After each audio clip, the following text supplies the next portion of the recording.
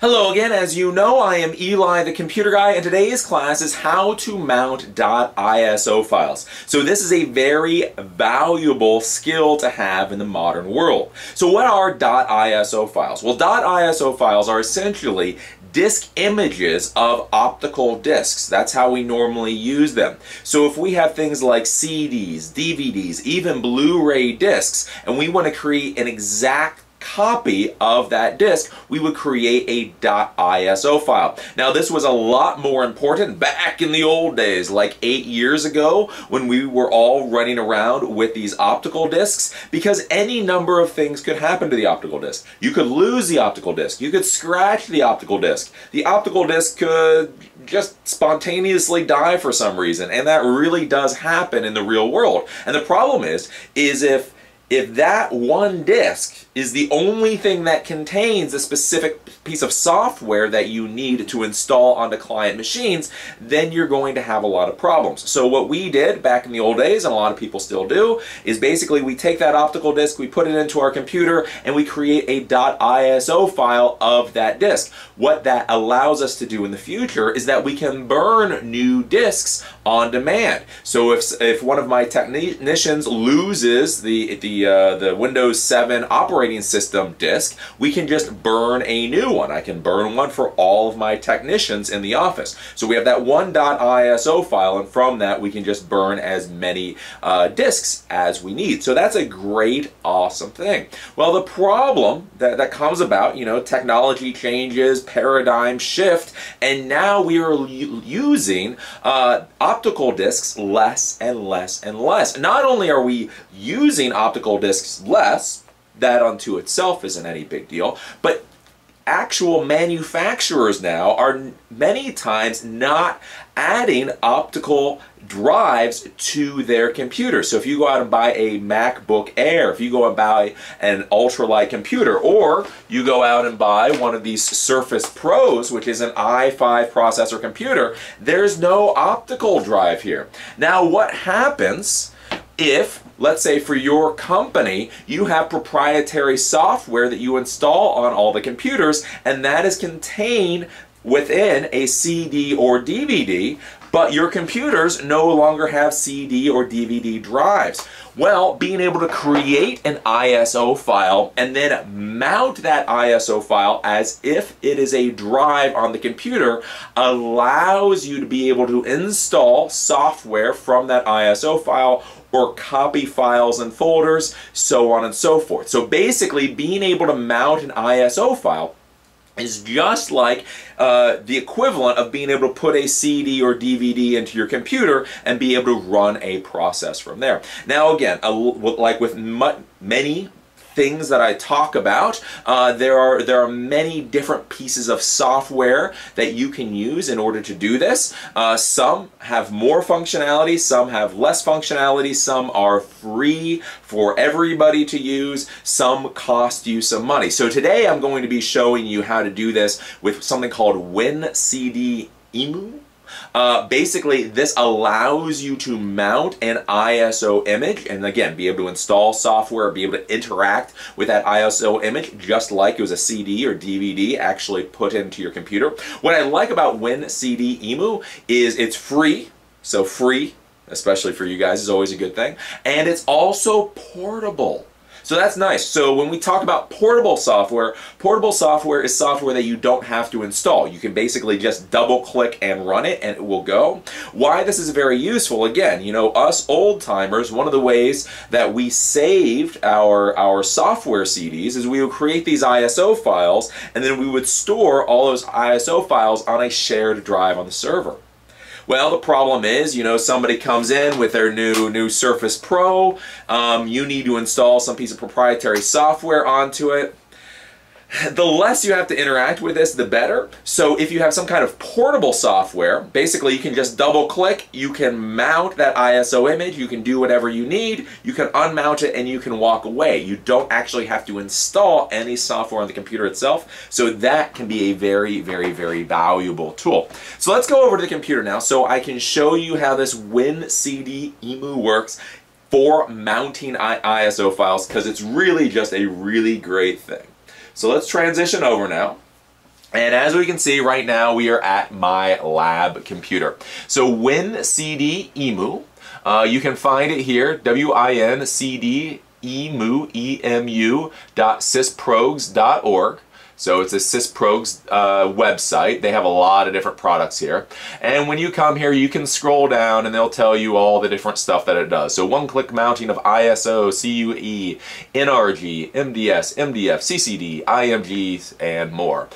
Basically, you go down, it will give you all the information, and one of the nice things about this is free for any kind of use. It is licensed under the LGPL. So again, with you guys being out in the enterprise world, you do have to be careful about uh, about this stuff. You know, don't don't go into your enterprise using free for home use software in a company with 10,000 employees. That will be all kinds of bad. So if you want to there, there's two versions of this WinCD EMU program. You can either go to downloads and you can actually download it and install it. So you can actually install this onto your computer so it's always running. Or they make it a little hard to find, but the portable version, so what I like is the portable version. In order to get to that, you actually have to click on this particular link for the portable version. It will bring you here. Then you come down and you look for the link to be able to download it. I would say just use the direct link that's right here. So I click on this direct link. Now, it redirects me to another website, but I can just hold on for a second and then it will automatically download the, the, the portable WinCD EMU for me. So that's one thing. A little confusing with this is you're going to get redirected here to SourceForge and you're to be like, what do I do next? Don't do anything. Just, just don't, literally, just don't do anything.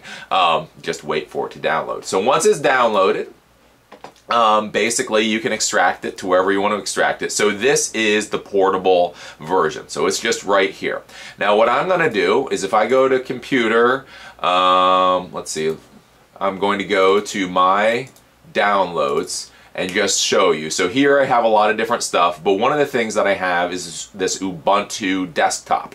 So let's say I wanted to take a look in this Ubuntu desktop. Well, right now it's a .iso file, I can't get into it.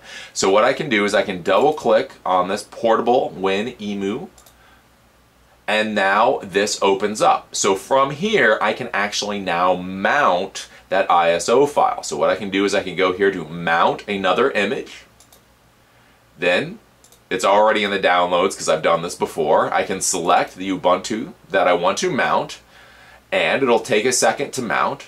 And what we can do is we can go down now and we can see that it has mounted that Ubuntu ISO image. So it automatically opens so I can go in and I can start navigating around and taking a look. Um, if this was a piece of software that I want to install, run, I could actually double click and start running it now. So if I double click on Wubi, I can click yes and you can see that this will actually start running just as if this was a CD plugged into my computer. So if I wanted to install Wubi right now, I could do that from this. So it gives me all of that stuff here. Now if I go over, I go to computer, you can see it's been mounted as drive G. So I'm not sure how many CDs or, or ISO files that, that the Win uh, will be able to allow you to, to mount, but it depends upon the software. So some some of the ISO mounting software will allow you to mount like up to 20 drives. Others will allow you to mount 8. It really depends on what you're doing. But that's really all there is to mounting the ISO file. So this is an absolutely uh, wonderful tool, again, for professionals in the real enterprise environment. Because I tell you, right? You know, like I say, I'm, I'm an old guy at 37. I remember how we used to do things. And the one thing that I know about the enterprise world is once things are done in one way, many times it takes years and years and years and years and years before they get changed. So if you have an old timer like me that has a whole collection of .iso files sitting somewhere on a shared drive, my guess those ISO files are going to be around for a long time, far longer than CDs or DVDs are going to be around. So being able to use some kind of portable ISO mounting tool allows you to sit down at your client's computer, being able to run the install process, and then go from there. Now again, as I say, there's many different pieces of, of ISO mounting software out there. This is free and very simple to use and portable. So that's why I thought you guys would like to look at it. There are other ones out there. Um, there are some that actually cost a little bit of money, but you can do things like actually edit the ISO file. So that might be nice. So you can mount it, but instead of mounting it as a CD, you can actually mount it as if it's just a normal like little flash drive, and you can actually copy and paste data into that ISO file. Now, why would that be useful? Well, imagine if you're going out and you're installing uh, operating systems, so Windows 7, Windows 8, something like that. Now, when you install Windows 7 or Windows 8, you most likely also install other little applications, other little utilities, antivirus, so on and so forth. Well, normally, you put in your disk, you run the, the operating system uh, installation, you pull out your disk, and then you pull something else out in order to install all these utilities. Well, imagine if you were able to simply put a folder on that operating system disk that had all the utilities in them. So when you got done installing the operating system, you could just go to navigate to that folder and then just start double clicking and installing all the applications. That would be a very useful thing in some environments. So that's just one thing to think about with mounting the ISO files is there's a lot of different software out there. What you choose to use, again, you know, as with as geeks, we all have our own, you know, what we like best. You just have to uh, decide what you want to use. But this little tool really is a really great thing and really, really very, very useful. So, uh, so I would suggest you you take a look at it.